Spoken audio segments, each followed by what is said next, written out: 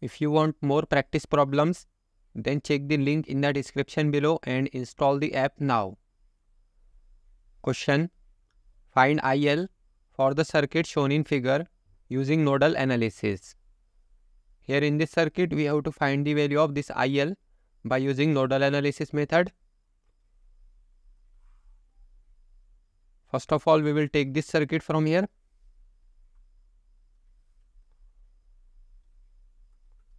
Now let's assume this is a reference node or ground node.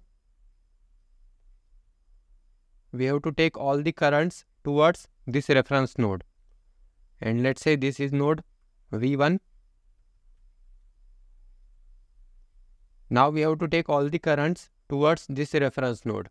This IL is already towards this reference node. Now let's say this is current I1 and let's say this is current I2. Now what we will do, we will apply KCL at node V1. So let's apply KCL at node V1. Now according to Kirchhoff's current law, KCL stands for Kirchhoff's current law.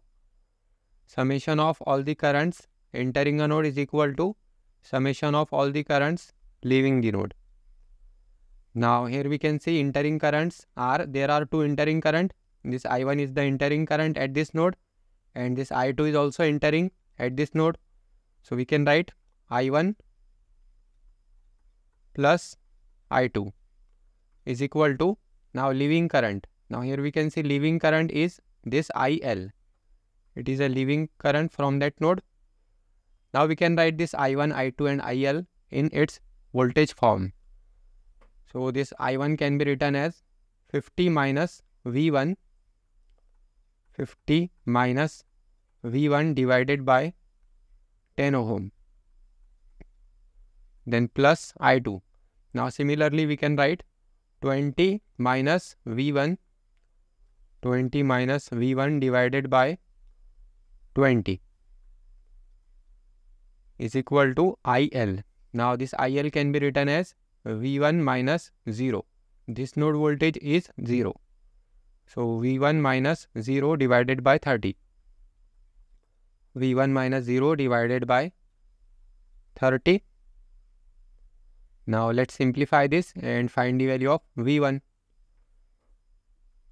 So this will be, if we multiply both side by 30 or just simplify this by conventional method. So 50 by 10 then minus V1 divided by 10 then plus 20 divided by 20 then minus V1 divided by 20. Then if we take this on left side, so it will be minus V1 divided by 30 is equal to 0. Now we can take this V1 common first. So let's take V1 common. Then it will be minus 1 upon 10.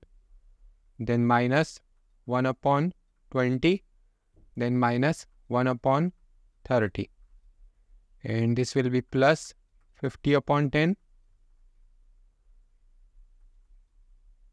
then plus 20 upon 20 is equal to 0 so v1 in bracket now this will be minus 1 upon 10 minus 1 upon 20 minus 1 upon 30.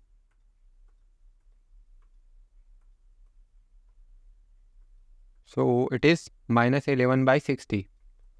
Minus 11 divided by 60 plus now this will be 5 and this will be 1. So 5 plus 1 6 is equal to 0.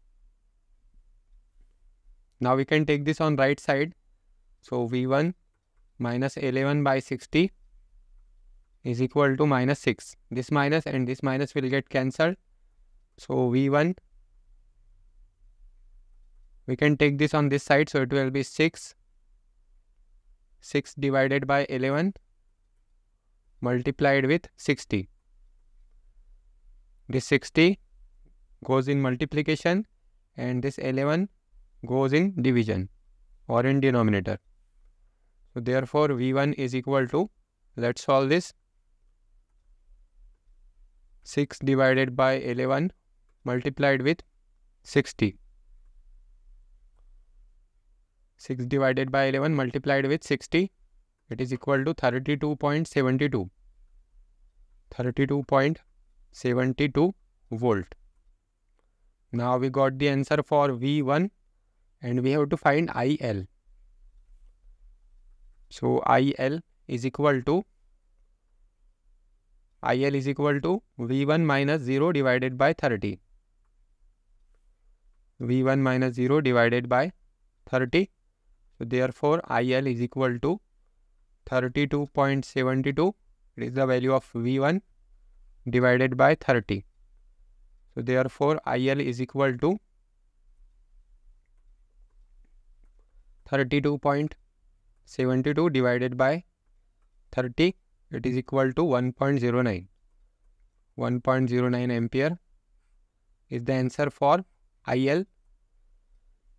Install the app from the link in the description below for more practice problems and its solution.